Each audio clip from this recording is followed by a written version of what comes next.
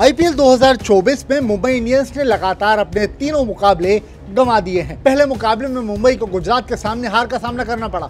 उसके बाद सनराइजर्स हैदराबाद और फिर राजस्थान रॉयल्स ने मुंबई इंडियंस को मुंबई के घर पर ही मात दी। टीम के ऐसे हाल के बाद में कप्तान हार्दिक पांड्या भगवान की शरण में पहुँच गए। सोशल मीडिया पर हार्दिक पांड्या का एक वीडियो जमकर वायरल हो रहा है जिसपे वो गुजरात के सोमनाथ मंदिर में शिव भगवान का अभिषेक करते हुए नज़र आ रहे हैं। जरा आप भी देखिए ये वीडियो।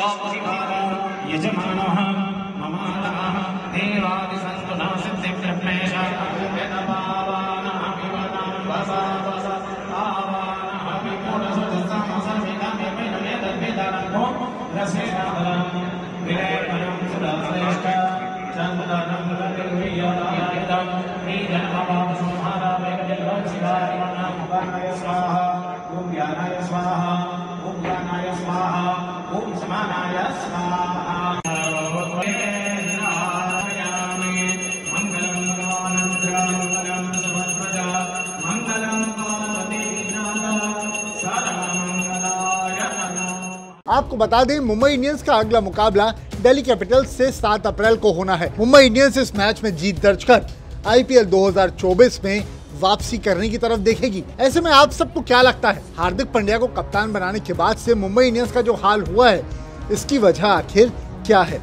कमेंट करके ज़रूर बताइएगा। इस वीडियो में फ़िलहाल अभी इतना ही है। ये वीडियो पसंद आए तो इसको लाइक करें, शेयर करें और आईपीएल से जुड़ी हर खबर जानने के लिए खबर विभाग को सब्सक्राइब करना ना भूलें।